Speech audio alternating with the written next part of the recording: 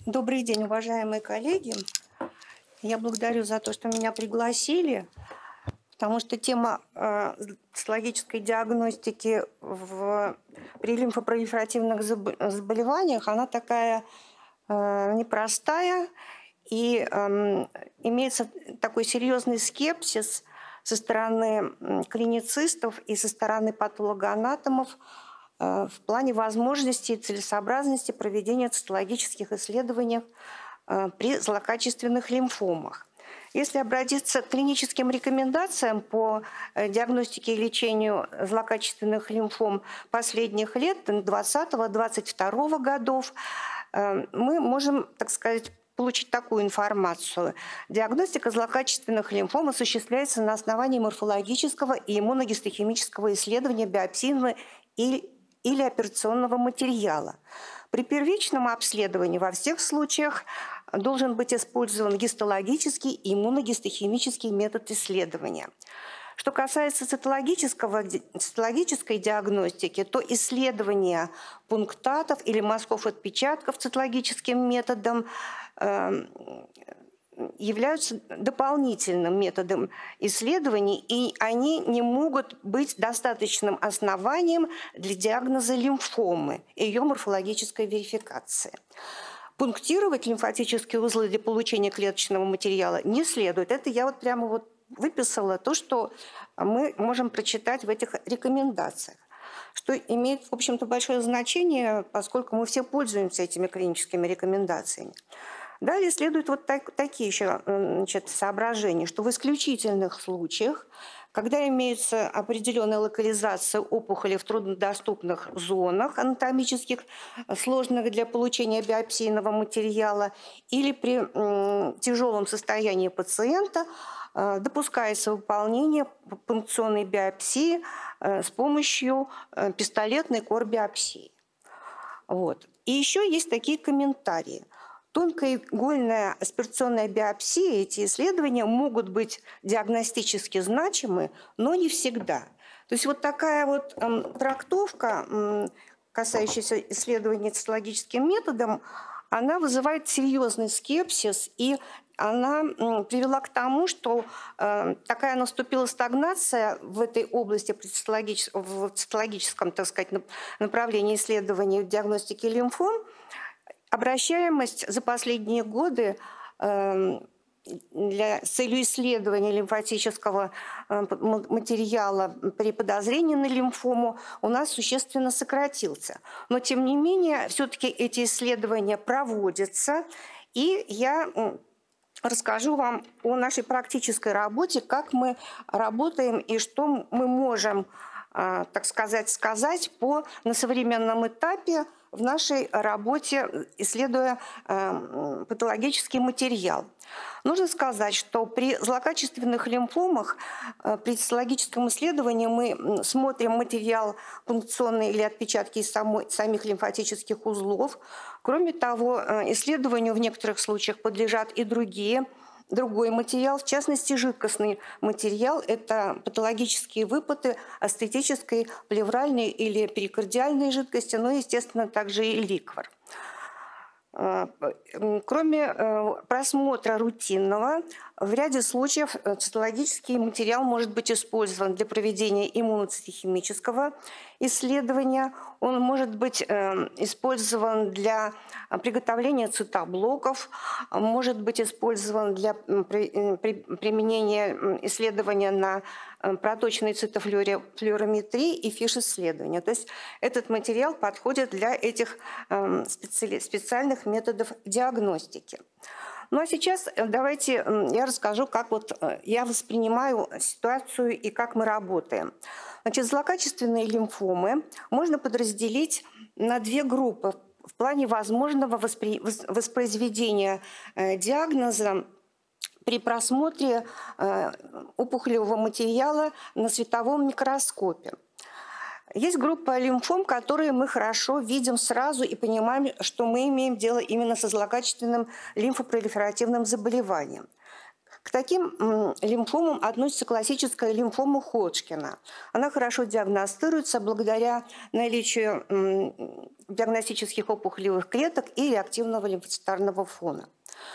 Эм, восприним... Воспроизводятся хорошо неходжкинские лимфомы высокой степени злокачественности. Это крупноклеточные бэклеточные лимфомы, анапластические лимфомы Беркета и лимфобластные лимфомы из клеток предшественников. Сложности серьезные создают лимфомы эм, вот этой группы, которую сейчас буду называть. Это э, лимфомы в первую очередь индолентные бэклеточные, которые состоят из мелких клеток, очень похожих на нормальные или реактивные клетки лимфы, лимфатического узла, э, лимфома Ходжкина, нодулярный тип лимфоидного преобладания, э, а также периферические клеточные лимфомы. Они тоже иногда бывают очень, они очень сложны для цитологической интерпретации. Э, вот давайте посмотрим, как выглядит цитологический материал у нас при обычном просмотре, рутинном. Вот перед вами классическая лимфома Ходжкина со всеми классическими ее особенностями в цитологическом материале. Мы видим э, яркие крупные опухолевые клетки, двуядерные, многоядерные клетки Штернберга с крупными ядрышками выступающими. Клетки располагаются на реактивном лимфоцитарном фоне, который включает вот с правой стороны сверху мы видим большое количество эзинофилов, кроме лимфоцитов, ну и другие клеточные элементы реактивного лимфатического узла, неопухолевый компонент. Э, следующая группа – это бэклеточные, крупноклеточные лимфомы. Это группа большая, неоднородная, но она отличается наличием довольно выразительных, крупных и типичных лимфоидных клеток, которые имеют сходство э, с центробластами, иммунобластами. Иногда они имеют какие-то свои собственные причудливые морфологические черты, но они явно отличаются от нормальных э, реактивных лимфоидных клеток. Ну вот с левой стороны это лимфома, которая состоит преимущественно из клеток типа центробластов, а справа э, иммунобластная лимфома. Далее мы можем хорошо понимать и видеть э, анапластические лимфомы. Но чаще всего это Т-клеточные лимфомы.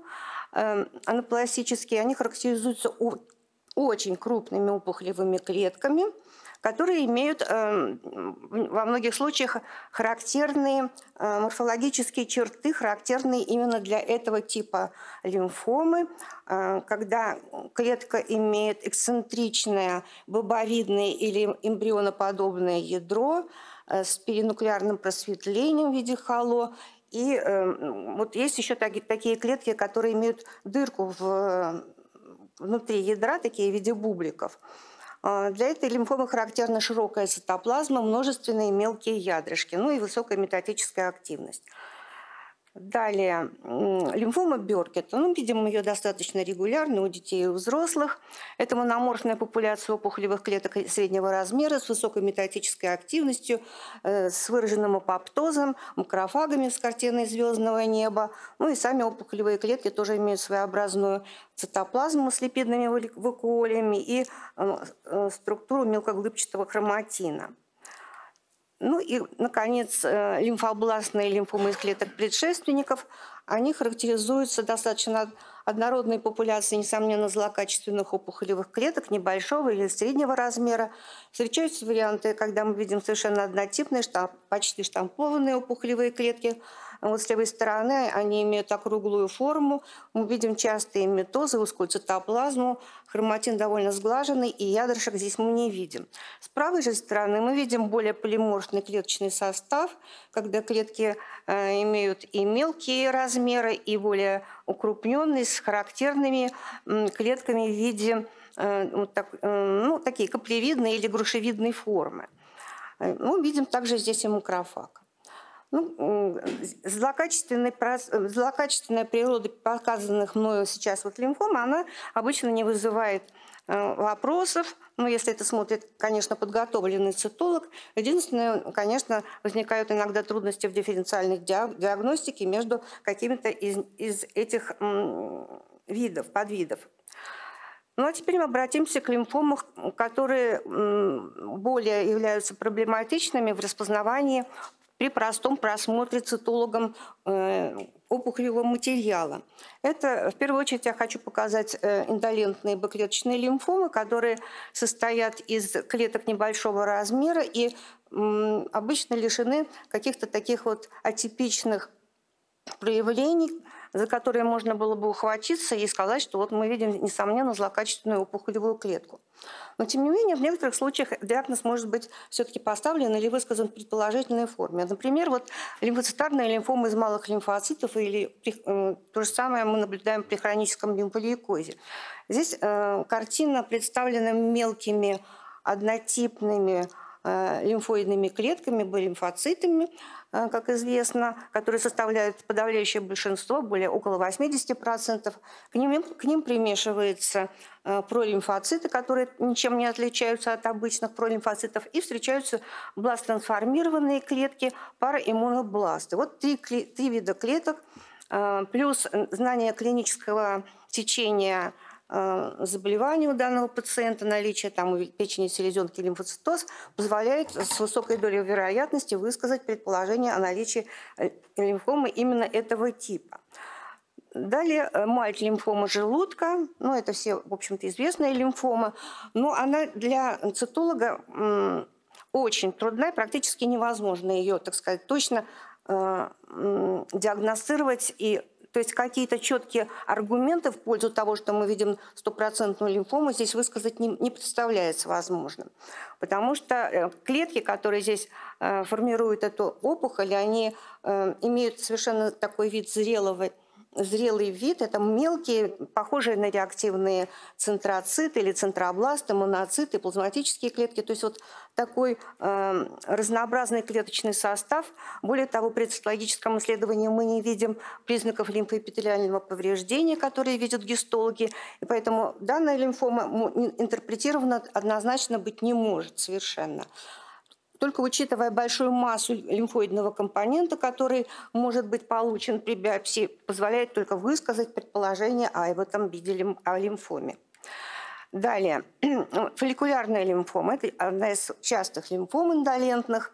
Она состоит из клеток двух типов – центроцитов и центробластов. Причем э, в этой лимфоме э, признаки клеточной атипии тоже отсутствуют – Клетки, э, в принципе, в принципе, они абсолютно такие же, как и э, клетки реактивного лимфатического узла.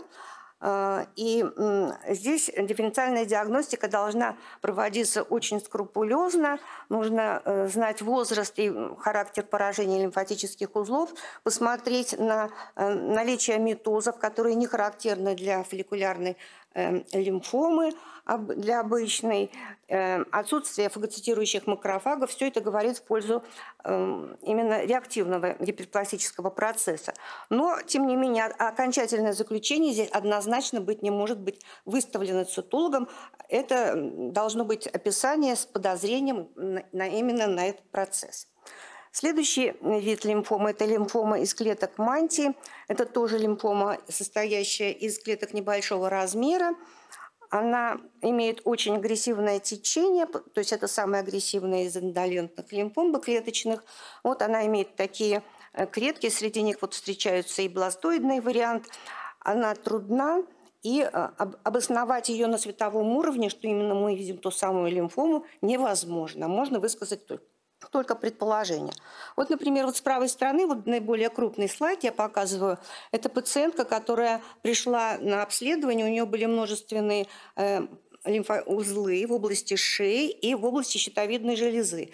И вот мы, мы справа видим пункцию э, э узла, который, вы, который у нас в поликлинике выполнили. Думали, что это э, рак щитовидной железы с метастазами в лимфатические узлы шеи. Оказалось, что это лимфома. Здесь цитологически была поставлена было, было сделано заключение, что это лимфома. Оказалось, уже, уже потом гистологически исследовали этот, эти узлы. Оказалось, что это лимфома из клеток мантии. У нее были множественные поражения, но, в общем-то, ее пролечили. И остался единственный узел в области щитовидной железы, и вот его пропунктировали, оказалось, что у нее еще имеется и рак щитовидной железы. То есть вот пункционная биопсия лимфатических узлов она во многом оправдана в ряде случаев. Ну, во многих, во всяком случае. В данной ситуации она сразу помогла установить и лимфому, и э, рак.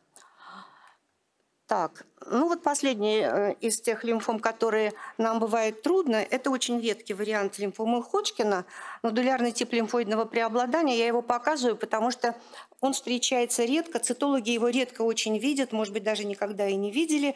Диагностические опухолевые клетки при этом типе лимфомы, они отличаются от классических клеток Ходжкина. Это клетки, имеющие такое название, или попкорны, лимфоцитарно-гистицитарные клетки с перекрученными дольчатыми ядрами. Это своеобразная лимфома, но она, в общем-то, интересна, поэтому я вам ее демонстрирую. Такую лимфому точно цитолог диагностировать не может. Он может только высказать подозрение. Наличие лимфоцитарно-гистицитарных атипичных клеток дает основание только заподозрить этот процесс. Так, ну вот э, я рассказывала о тех цитологических картинах, которые мы видим при исследовании пункционного материала отпечатков лимфатических узлов. Нужно сказать, что все-таки, несмотря на такие довольно-таки негативные рекомендации не использовать э, цитологический материал при, э, при исследовании лимфатических узлов, все-таки эти исследования проводятся, и они проводятся обоснованно, когда в тех случаях, когда ну, не только просто трудно получить материал, а когда просто это необходимо по клиническим показаниям, по клинической ситуации. Обычно это исследования проводятся все-таки у детей чаще всего. У взрослых э, так, такие исследования мы наблюдаем очень редко. В основном это дети, и мы, в общем, стараемся как можно, так сказать, откликаемся и как можно быстрее эм, смотрим этот материал и, в общем-то, стараемся в течение одного дня удовлетворить наших э, клиницистов и оценить процесс. Ну и еще эм, в заключение я хочу показать другой материал. Это уже не лимфатические узлы, это патологические жидкости, которые мы исследуем. Э, вот эм, это значит, астетическая жидкость пациентки, которая пришла в конце декабря прошлого года. Э, при первичном обследовании клиническом у нее э, были обнаружены образования в области поджелудочной железы, у нее был э, канцероматоз и большой асцит. Этот асцит эвакуировали и при просмотре цитологического материала мы увидели картину э, лимфомы. Вот. Ну, для того, чтобы, поскольку у нее состояние было довольно тяжелое, и она вообще еще была амбулаторная, мы постарались использовать тот клеточный материал, который э, эвакуировали, чтобы выполнить иммуноцитохимические исследования. Сразу мы приготовили препараты на цитоспине, а часть материала было, были, из части материала мы приготовили цитоблоки. Ну, цитоблоки, естественно, они изготавливались более длительное время, а по изначальному этапу иммунохимического исследования мы поставили сразу CD5, CD20, э, панцитокератин и увидели, что действительно это лимфома, CD45 и CD20 э, были, были положительные, а при исследовании материала уже на цитоблоке получили э, положительный BCL2, и Ки-67 был тоже очень высокий, CD5 негативный. Ну, мы этот материал смотрели совместно с Анной Сергеевной, и, в общем, диагноз, диагноз был поставлен совместно. Заключение было такое, что это богоклеточная лимфома высокой степени злокачественности.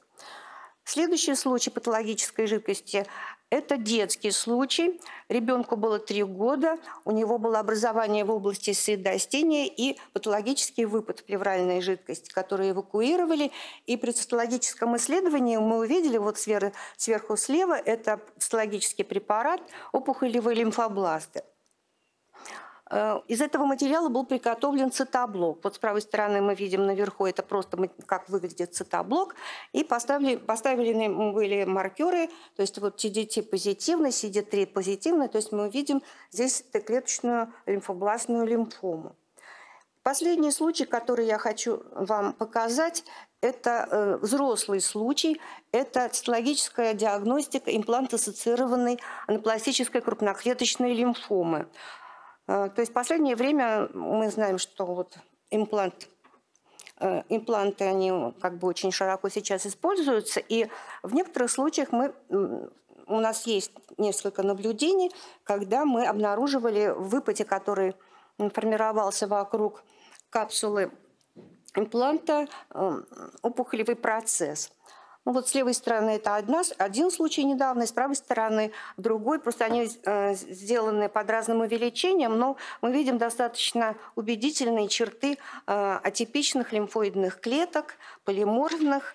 Э, здесь тоже был сделан цитоблок, вот этот вот э, слайд Просто я хочу, хотела показать, как это выглядит на гематоксилине, просто без всяких там дополнительных маркеров, как вот это выглядит. И мы провели и цито, цитохимические исследования и на мазках, и на цитоблоке. И вот, э, результат был такой, что CD45 позитивно, CD30 позитивно, CD4 это уже фокально позитивно, а ЛК негативно. То есть сделали заключение, что имеется именно та самая лимфома, о которой мы и предполагали. Вот э, таки, таким образом мы сейчас имеем возможность работать и использовать дополнительные методы исследования, которые достаточно убедительны для установки злокачественного, злокачественного процесса, злокачественных лимфом. Я думаю, что э, э, цитологический метод имеет достаточно хорошие возможности диагностики лимфом в определенном ключе, и игнорировать его возможности, наверное, нецелесообразно. Ну все, спасибо.